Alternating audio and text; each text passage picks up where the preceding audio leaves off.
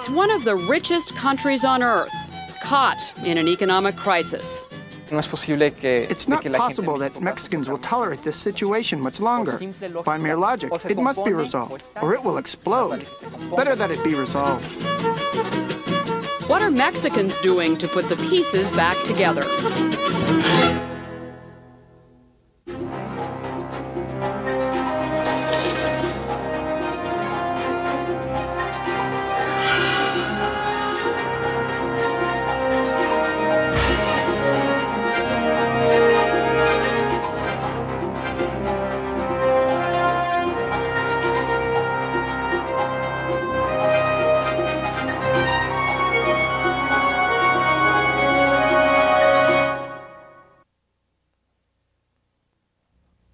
Emerging Powers is made possible by the Ford Motor Company, where quality is job one.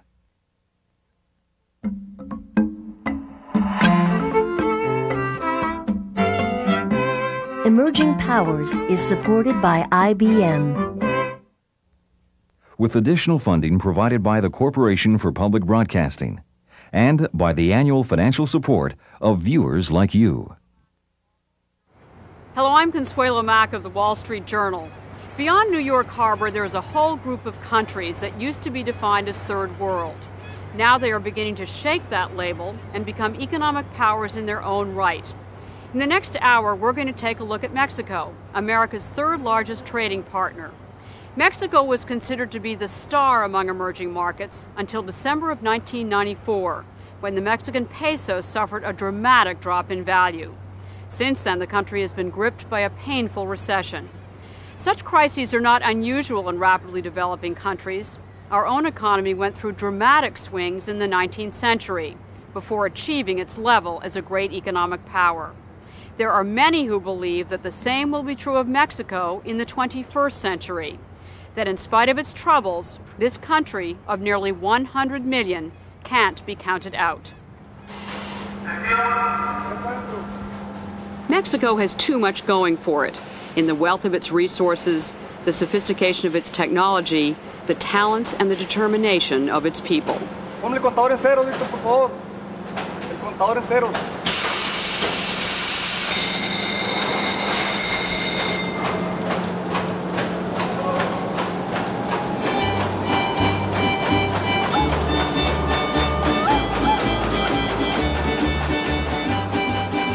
Night at 10, the Mexico City newspaper Reforma goes to press.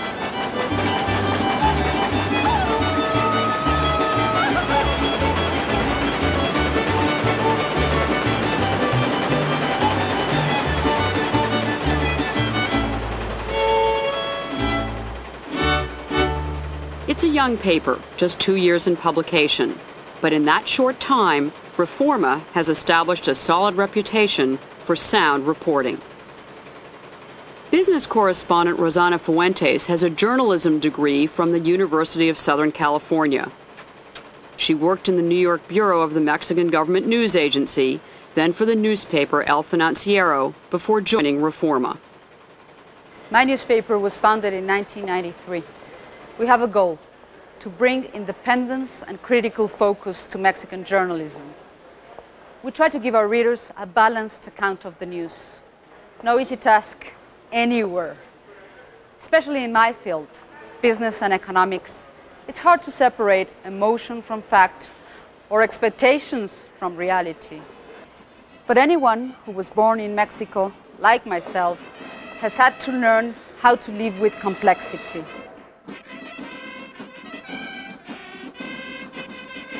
At the center of Mexican political, economic, religious, and cultural life is the central square, the Zócalo. On this Zócalo, the Aztec Emperor Moctezuma once ruled over Mexico Tenochtitlan, the place of the eagle, the serpent, and the cactus.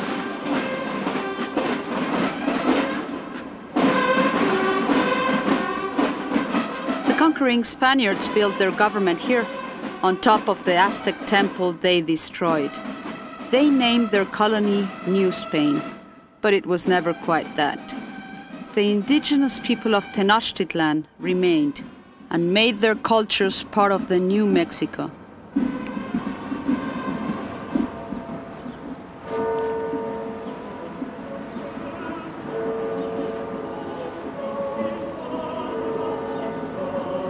We became one nation, encompassing many ways of life and many identities. We're still a third world country, but we're already the 13th largest economy in the world. In Latin America, only Brazil outranks Mexico in wealth and population.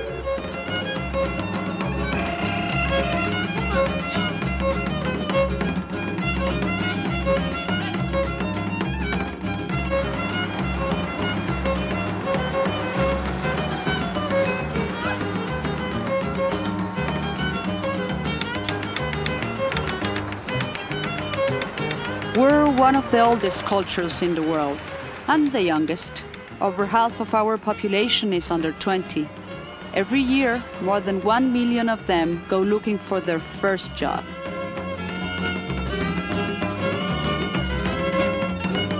We're a major exporter to the United States, the largest market in the world, though our economy is just a fraction of its size.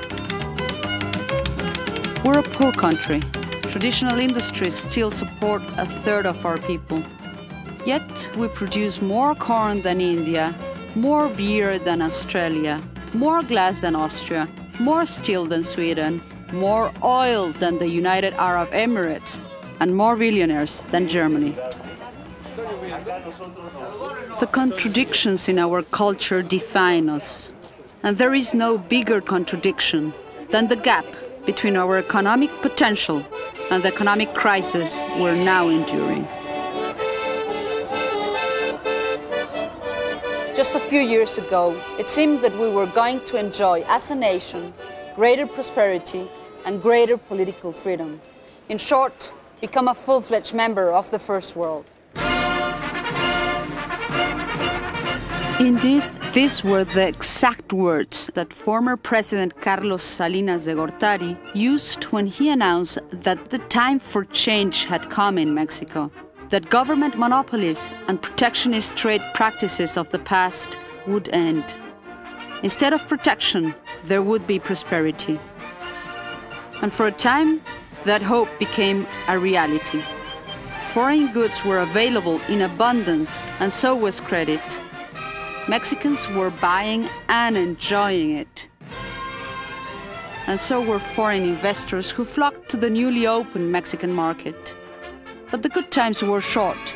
On January 1st, 1994, the day the North American Free Trade Agreement went into effect, a peasant rebellion rose in the state of Chiapas to challenge Salinas's policies.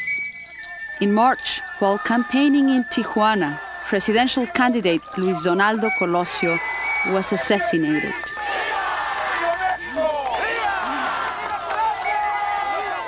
Foreigners and nationals began to fear that Mexico was not stable enough for their investments. The government of new Mexican President Ernesto Zedillo, hoping to quiet those fears, decided to let the free market determine the worth of the peso in December of 1994 the Mexican currency faltered, then fell to nearly half of its former value. The recession that followed has filled the front pages of our newspapers and those of the foreign press ever since. But in the midst of the public debate about the cause of the crisis, it is the Mexican people who have had to cope with its consequences. Like many in Mexico, Giselle Gonzalez and her husband decided to buy a new house and a new car during the good times before the crisis. The interest rate was then about 20%, but when the peso fell, their rate rose to about 110%. Giselle now visits her lawyer every month, looking for some way to manage her rapidly rising debts. As a result of the crisis, the Gonzaleses now owe twice the original value of their house and five times the value of their car. Our problem is that the monthly payments are very high. And at the same time, the principal is still generating interest. So, how much time will it take for us to finish these payments if we continue the way we're going? About how much time will it take? de todas las opciones, la que más viable sería en un momento es eh, implementar. With the options you've got, I think the best course would be to try to challenge this kind of one sided increase in the interest rate. Okay. Bueno. Thank you. I'm going to bring all the paperwork to see what you can do here. My pleasure, whatever I can do. Fine. Let's see what's best.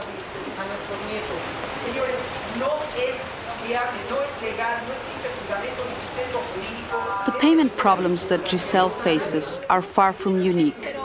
Every afternoon in Mexico City, hundreds of new debtors come to an open meeting held by the Bar Association.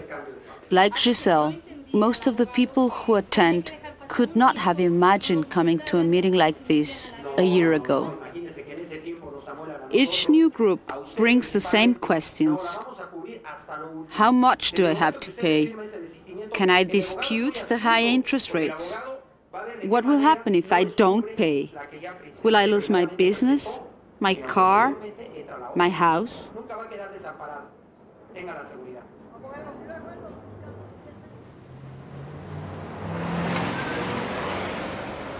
The Gonzaleses married, bought a new home, and began a family during what Mexicans now call the blessed years.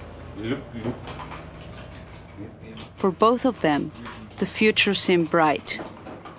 Juan Pablo joined a weekly radio talk show in addition to his work at a political studies institute. Giselle began a freelance career as a worker training specialist. Their debts and the postponement of their hopes has made them and many of their countrymen frustrated with the pace of change in Mexico. Te confesaré que de todas maneras I have to admit that when I was doing my commentaries at the radio station about a week ago, there was an unusual tone in the things I was saying. I was really very angry about the crisis, the way it came so quickly, and about the depth of the recession we're in. Eh, I was angry. How long will people put up with this? How long will they endure this government and their policies and the way they just crush us? I think that this is an enormous question, really. How much more has to happen before people get truly angry and do something? But the country and our society are changing, and this you can see with optimism. I can't think of any other way to look at it than as a process of change. There are many Mexicans who believe that we do have reasons to be optimistic if we take the long term view. 1995 was not our first economic crisis, and it may not be our last. But our basic economic institutions not only survived, but matured. The World Bank recently determined that 75% of Mexico's wealth lay in our human resources, in the talents and labor of our citizens at every level of economic life. The street vendors and small businessmen that one sees everywhere in Mexico are vibrant symbols of that ingenuity. Their entrepreneurial spirit creates what experts here call the informal economy an untaxed, unregulated source of support for Mexico's working poor, and a cushion against the shock of hard times.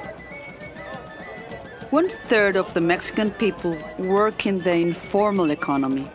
They live in neighborhoods like Chalco, on the outskirts of Mexico City. Twelve years ago, this land was vacant, but as the poor overflow their old neighborhoods, they spill into Chalco. There are no phones, little transportation, and no sewers.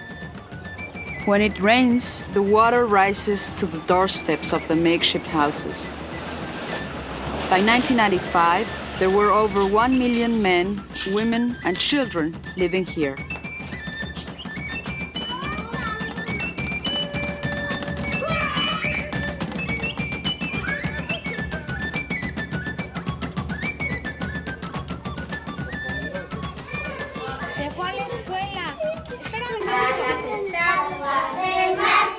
Maria Mendes is one of Chalco's first residents and one of its first entrepreneurs. Nearly a decade ago, she set up a business offering the one service that everyone here needed daycare.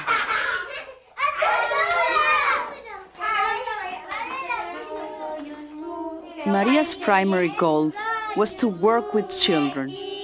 But in order to keep her center alive and growing, she also needed to make a profit. Problems she faced were typical of the informal economy. No savings, no credit, no business skills. But Maria got help from a group that saw the potential for real economic growth in the enterprises of the poor. About eight years ago, we started this business of daycare for children with mothers who work. I decided to join CAME so that I could improve my center with loans that would help me buy more materials.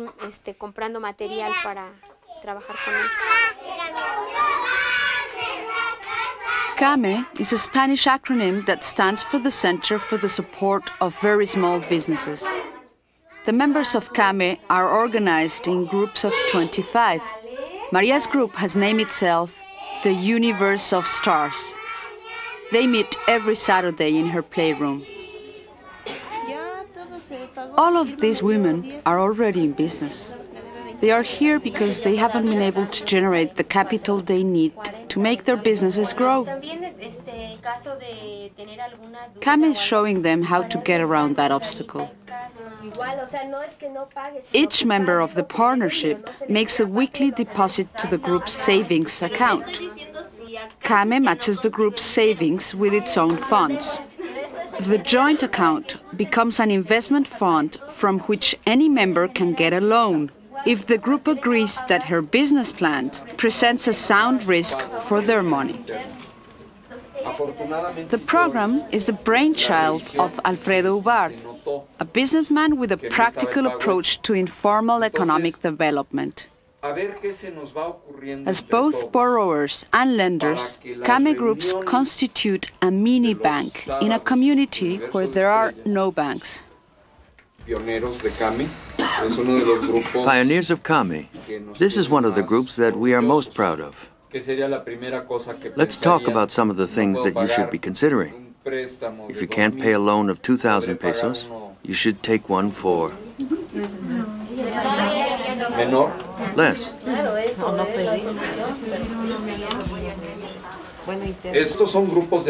These are work groups. So we come here to work as a group. What happens if you have to resort to your savings to pay a loan? And if all of you pay your loans with your savings, then what will happen to the group? And if you don't have any money? Well, you may like each other, but you aren't coming here just to see each other's faces. Since CAME began working in 1994, it has formed 70 groups with more than 1,700 people, mostly women. The average savings of each member is 780 pesos, roughly $130. It may seem like a small sum, but the combined savings of all members amount to nearly a quarter of a million dollars. That kind of money can go a long way in a community like Chalco. Savings are something that are fundamental for Mexico's development. And our groups are generating savings for investments and jobs for their members. What really interests me in all of this is the creation of jobs. I've always been worried that there just weren't enough sources of work in Mexico.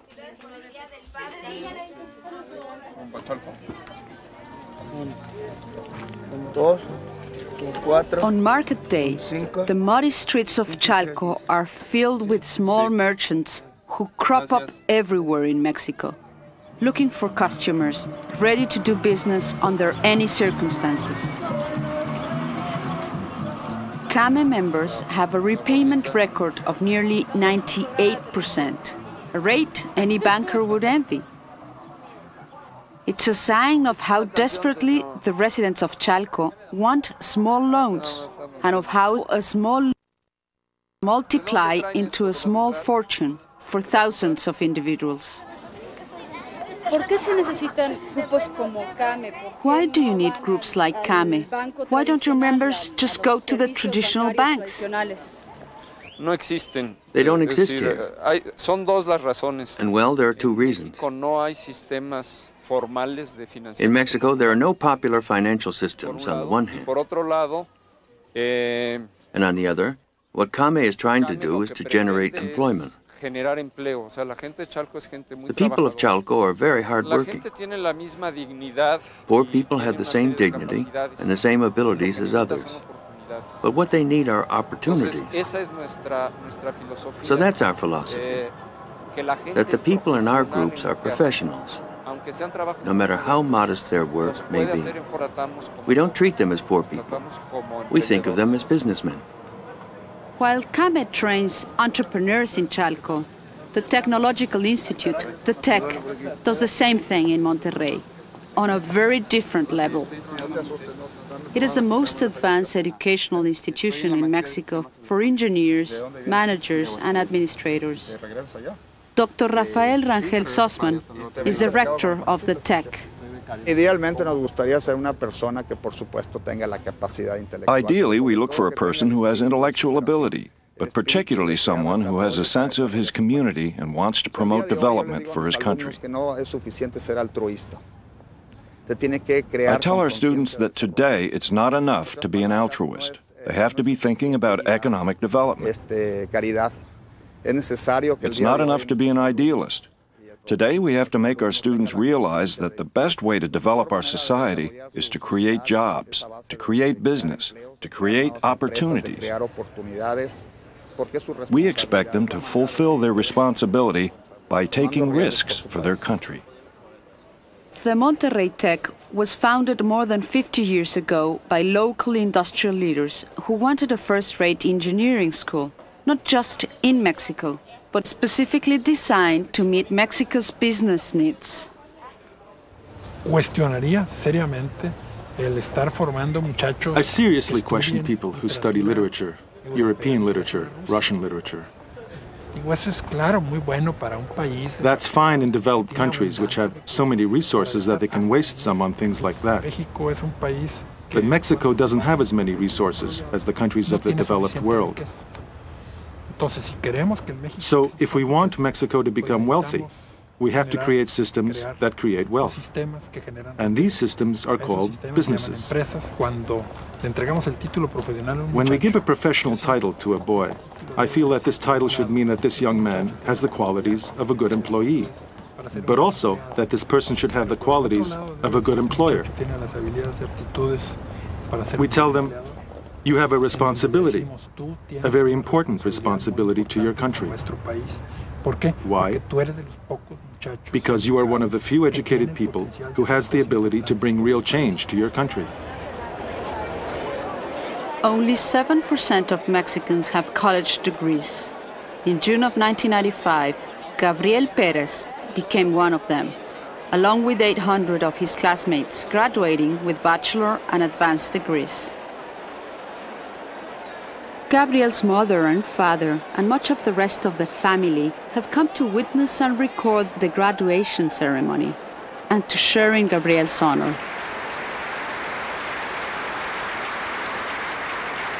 From the day they arrive at the Tech, the students are told that they represent Mexico's best, that on their graduation day, they will join in a long line of distinguished alumni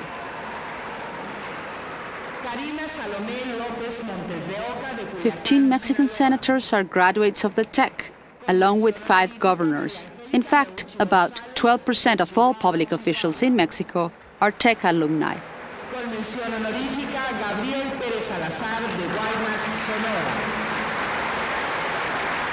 Joining this club is a real cause for celebration. A tech degree comes with a firm sense of responsibility, a theme that is repeated throughout the rituals of the day. Graduates, have faith in Mexico, your parents, and the tech, because the tech, Mexico, and your parents have faith in you.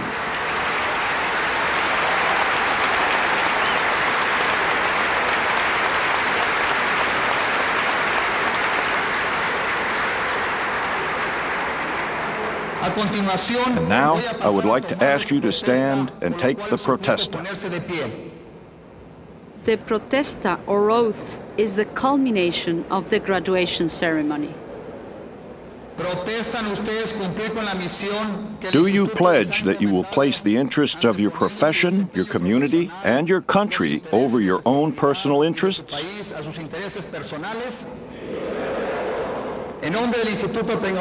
You have accepted your oath. And now I congratulate you and wish you Godspeed and good luck.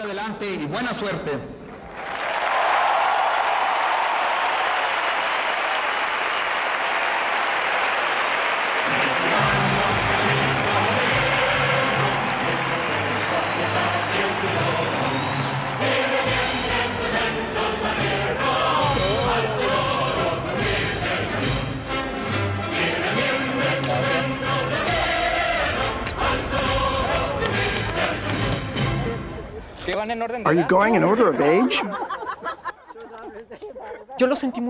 I felt very emotional because at the graduation ceremony, we were aware that this was a critical moment in our lives. This very moment when we received our degrees. Once the diplomas were awarded, our lives would never be the same again. The week after his graduation, Gabriel began his first full time job with his grandfather. With unemployment rising, he was one of the lucky few who had a job at all. In fact, out of my classmates in my major, I believe that only three or four of us already had work that was more or less secure. The rest, no. And they're very worried. Five members of Gabriel's family are co-owners of the business which his grandfather started as a stall on a street in Mexico City. The company was founded when I was 18 years old, 60 years ago. We built things from iron, shutters, doors, windows, gates, just about everything. But the business really took off when Gabriel's grandfather invented one of the most popular toys in Mexico. In looking for a name, we started with the idea of something that descends. Avalanches descend. The avalancha business was always seasonal, highly dependent on Christmas and Epiphany gift sales. But in 1995, the off season became the whole season. Of the 100 employees who once manned this factory, only 10 remained, kept on in the hope of new orders. When you go through a crisis like this, when you hit bottom, when the job opportunities aren't so good, and then some little option opens, you say, well, I'll take it. Pues cuando se abre una pequeña opción dice, bueno, pues por aquí. And then you start to like it and think, well, this is fine.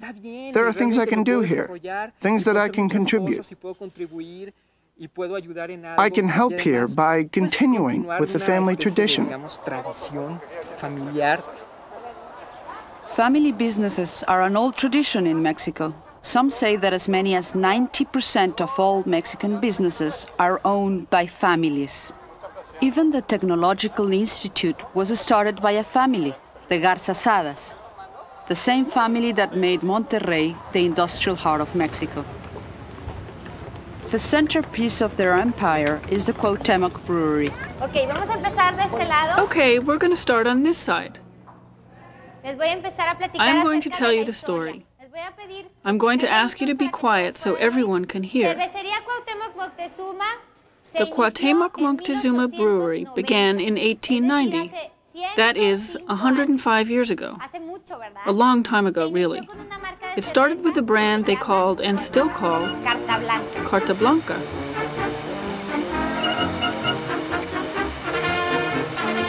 It started with a simple idea to sell beer to hot, thirsty travelers arriving from the northern desert. But as the business grew, the Garza Sadas needed more and more bottles. Rather than import them, the family set up their own glassworks. When American businesses started selling their products in Mexico, Vidriera Monterrey was already there, ready to convert to any new shape. But the bottles also needed caps. Rather than import them, the Garza Sada set up their own steelworks. With time, this factory also began supplying the heavy industry of Mexico. The Monterrey Group succeeded because they found a way to be both Mexican and international. And in Mexico, competing internationally means crossing one border above all others.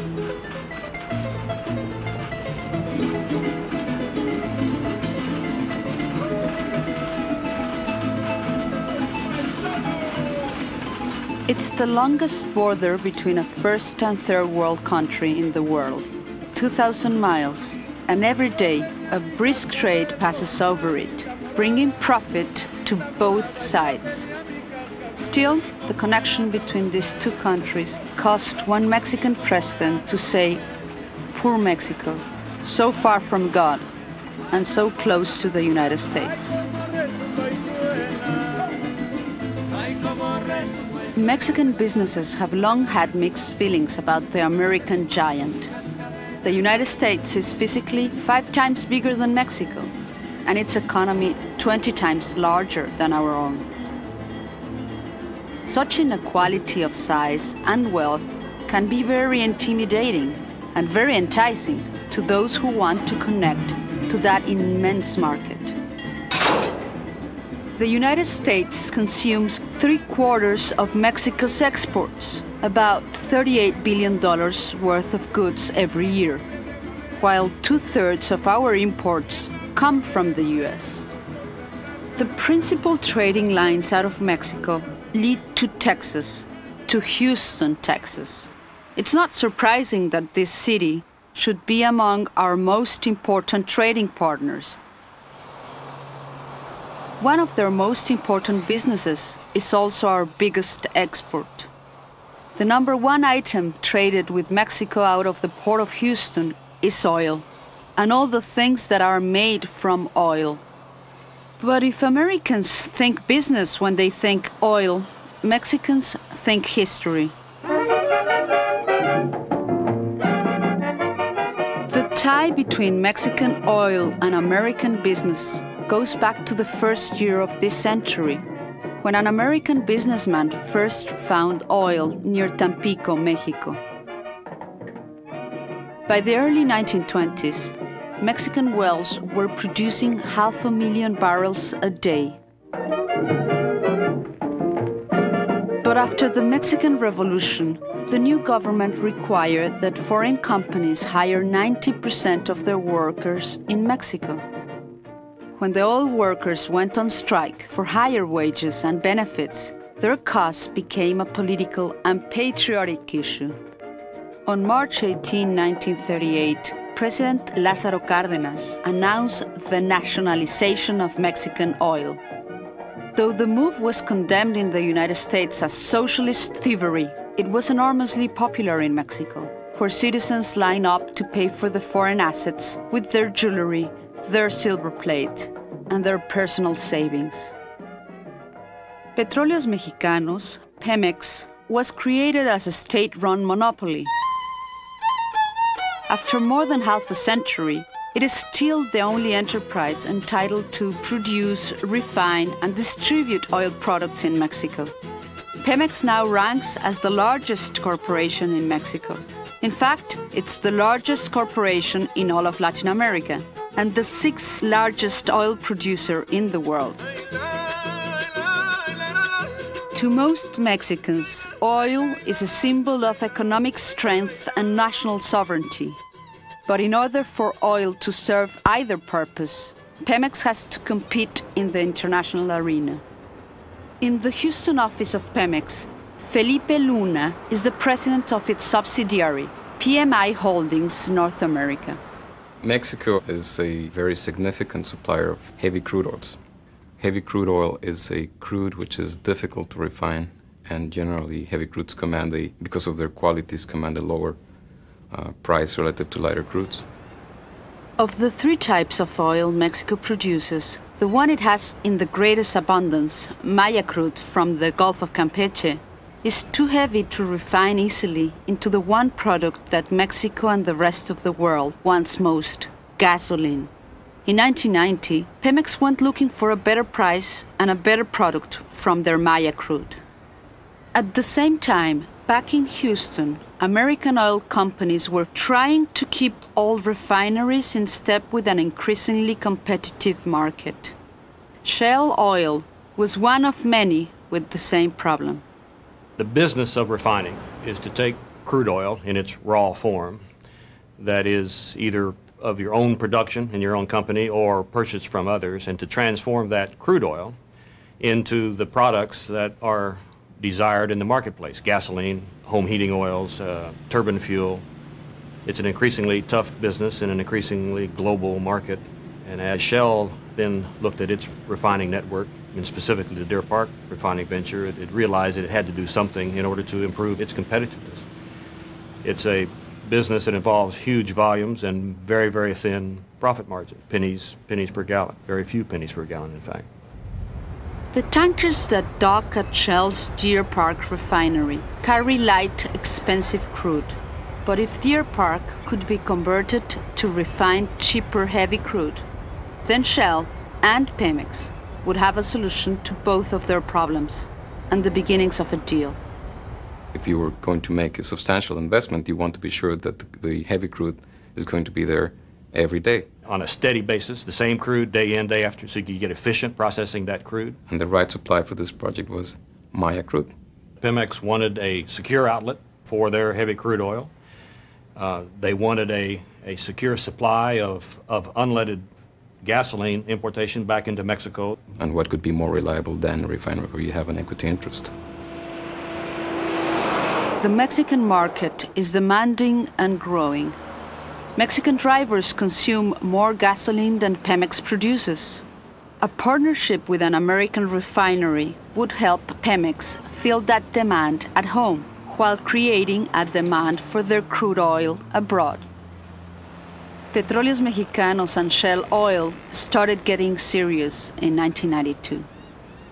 The first thing that you have to have is a commitment that what you want to put together is a long term relationship. Kind of like a courtship leading up to an engagement. Like a marriage between two companies. Two people, maybe in their late 30s, marrying their high school sweetheart, right? It's a very unique kind of an arrangement. And, uh, and getting two companies the size of Shell and Pemex to do something like this uh, where you have to be uh, quick on your feet and very aggressive. This is something really different. Pemex and Shell went to the altar in April of 1993 when ground was broken for the new upgraded refinery at Deer Park, Texas. Last night I went to a concert of a musician I admire, a fellow named Lyle Lovett. And Lyle has a new song. Uh, and it goes, uh, I can tell you're not from Texas, but Texas wants you anyway. and as I was sitting there this morning, I was thinking how true that is uh, of our friends from Mexico, that we can tell you're not from Texas, but Texas wants you anyway. The Deer Park joint venture gave Pemex a market for 140,000 barrels a day of Maya crude, gave Mexico 35,000 barrels a day of unleaded gasoline, gave Houston jobs, gave Texas tax revenues, and gave both Shell and Pemex an upgraded refinery without putting either company in any debt. The joint venture financed the $1 billion project with a bond issue that was snapped up by private investors. We courted other girls, okay? We are very pleased to, uh, to be married to the one we chose.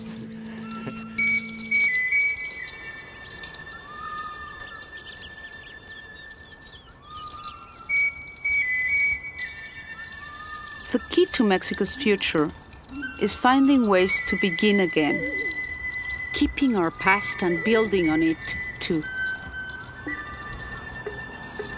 Within our country, there are still people who live and work as they have for centuries.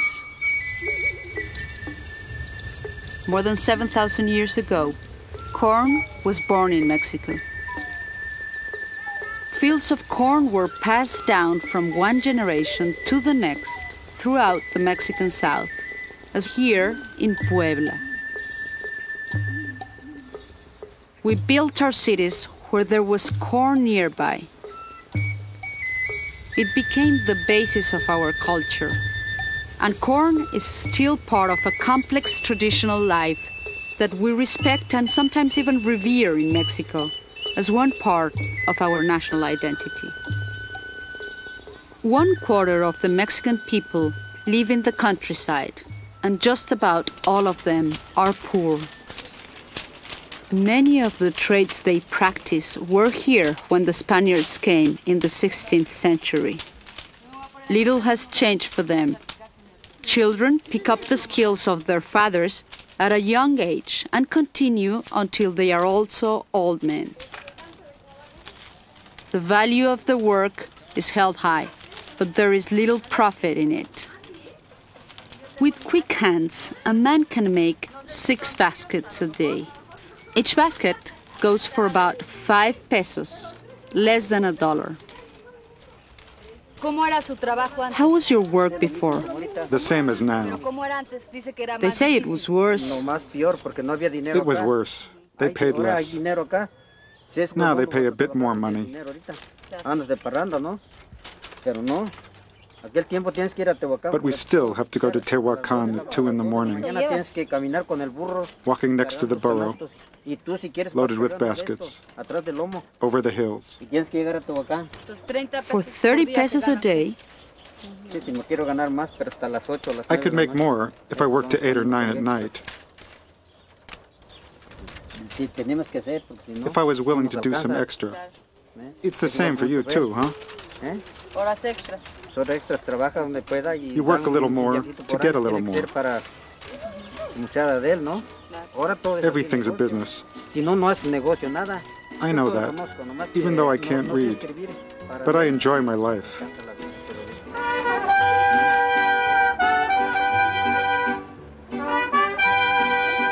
Very few country people ever abandon the traditional way of life. The bonds of costume and the constraints of poverty are too hard to break.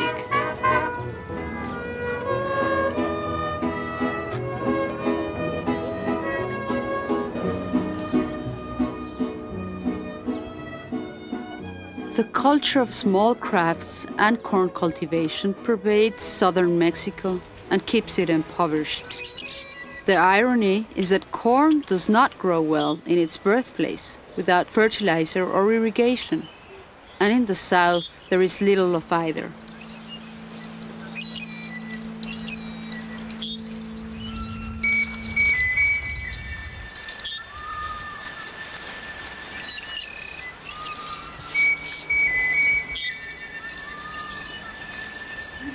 But in Mexico's Pacific Northwest, in the state of Sinaloa, we have both.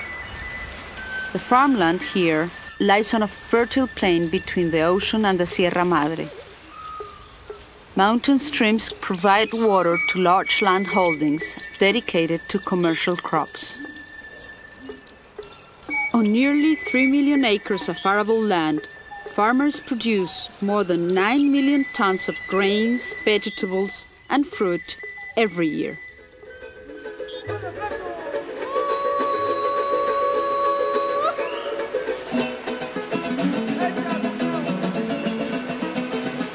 Sinaloa accounts for almost one quarter of Mexico's total agricultural export.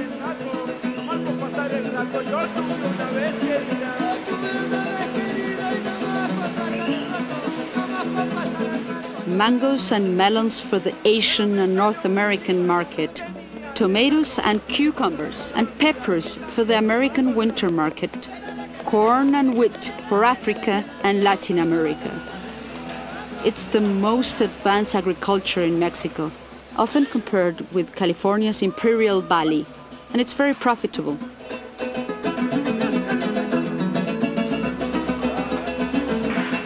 but it could be even more profitable if the Mexican transportation system could deliver the nation's produce more quickly.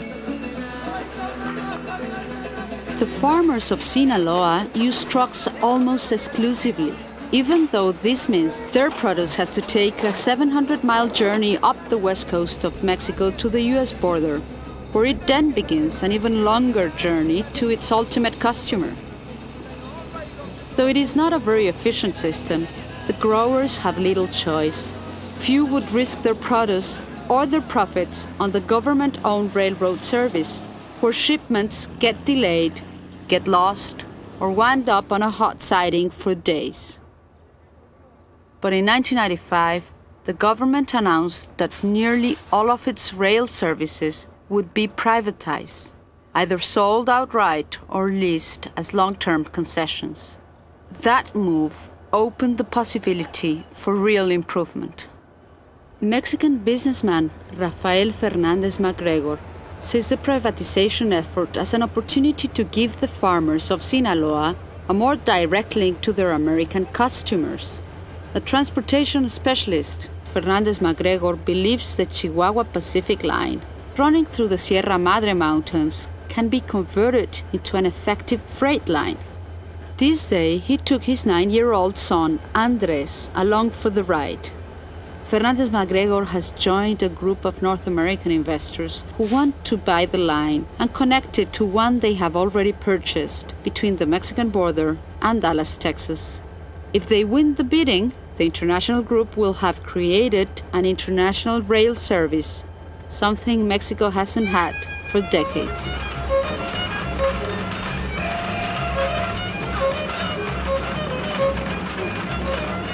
In the beginning of this century, when the railroads were the most important single tool for national economic development and growth, sovereignty and railroads were very closely linked. The railroads were reserved for the government. Therefore, you didn't have entrepreneurs uh, trying to do something in the railroads and, and going down a learning curve uh, in that industry. So all of a sudden now you have uh, privatization of the concessions to operate, and that's a problem because the people that do have that expertise tend to be foreign railroads.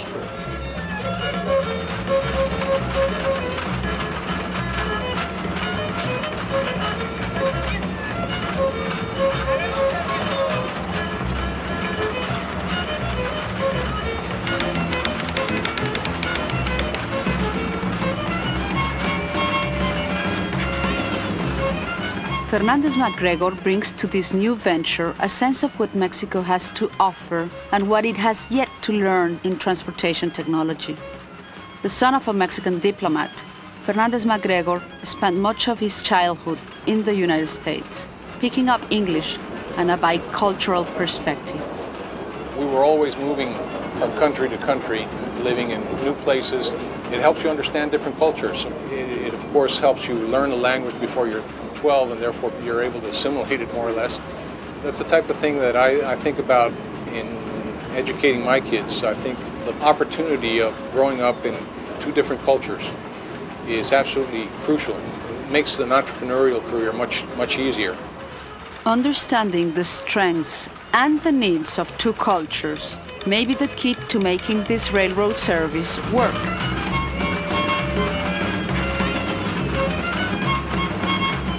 Mexican rail system lost practically half of its market share of overland transportation within the last 10 years.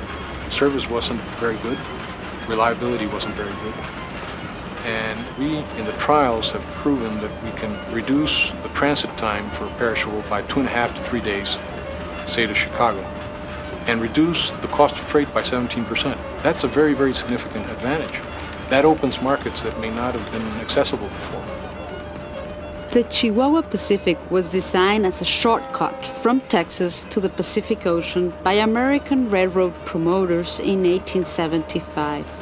But for more than 50 years, the Sierra Madre Mountains defeated them.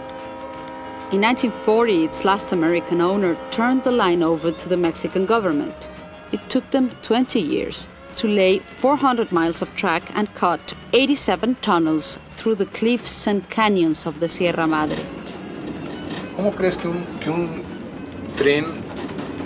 How could they have built a railroad in such a desolate place? Some place where there's practically nothing.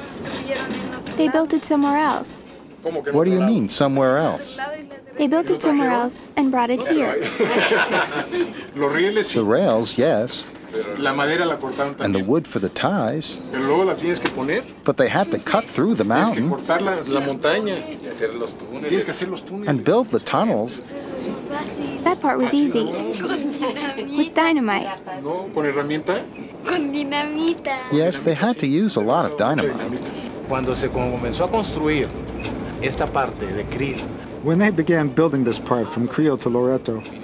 they got opinions from railroad experts, engineers from as far away as Japan and France. Every one of them thought it was a crazy dream to build a train through these mountains. But Francisco Togno, a Mexican engineer from Tijuana, showed that we weren't so crazy. There's a story that Togno chose the route for the train with the help of a mule. He let the mule free in the mountains, then followed him. A mule will always find the easiest way to go anywhere, and they say that this is how Togno chose the route.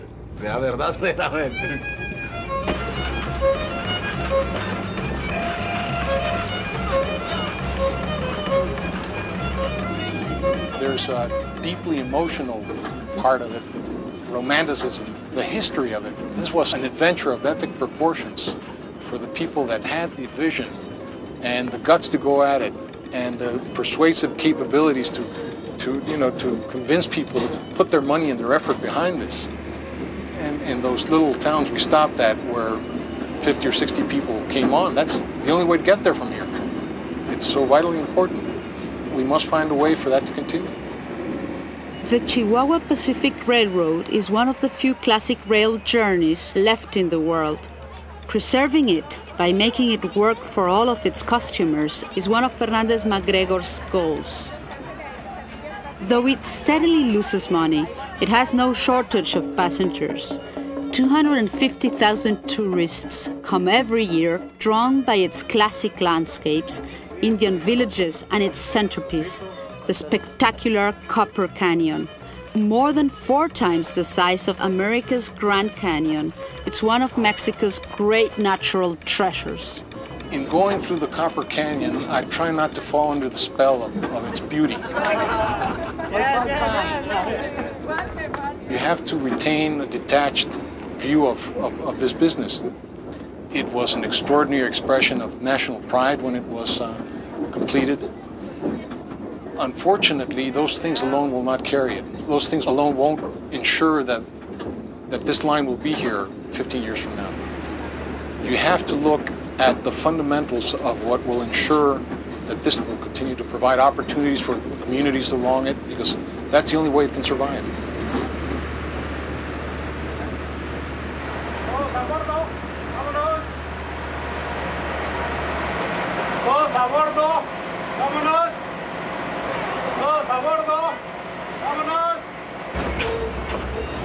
Mexico is going through tough economic times, but we've gone through these things before. We should have learned our lesson by now. But uh, we tend to come out of them, and we're sure that we'll come out in a couple of years. So if you look at the fundamentals, you look at the long-term view, this is a once-in-a-lifetime opportunity for big players and for small players like ourselves.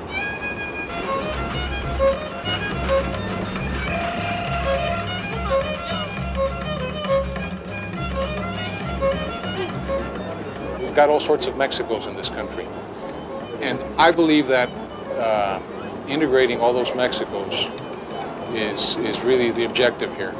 Pulling up the Mexicos that are at the bottom of that chain is the challenge for the country. And, and getting all those Mexicos to talk and understand each other's needs is what, what it's all about. That's, that's, our, that's our challenge. And that's our ultimate goal making change and opportunity a reality for all Mexicans.